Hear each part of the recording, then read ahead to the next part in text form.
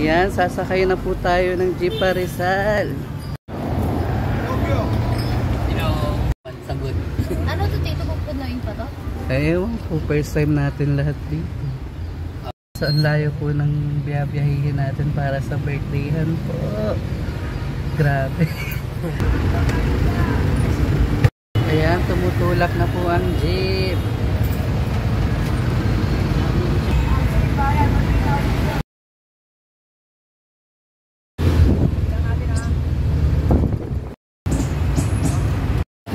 Yan, nasa housing na po. Welcome to San Mateo Rizal. Barangay Silangan. Bakit? Yan, magpapaganda muna po ang aming dalagita. Baka may mga binata sa pupuntahan. So ayun nga po, makikibirthday po kami sa napaka-cute na bata. 2 years old na po ang aming Ezekiel. Yan. Bubusugin po ni Ezekiel si Risha Mia. True.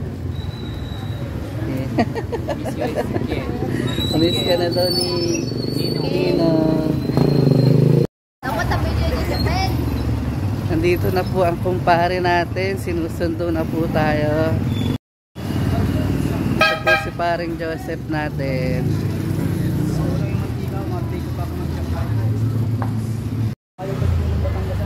Mula-mula ang fish na. Malayo Oo, ka lang, mas malayo yun. Yes, first time po natin sa San Mateo. So good po sa birthday han.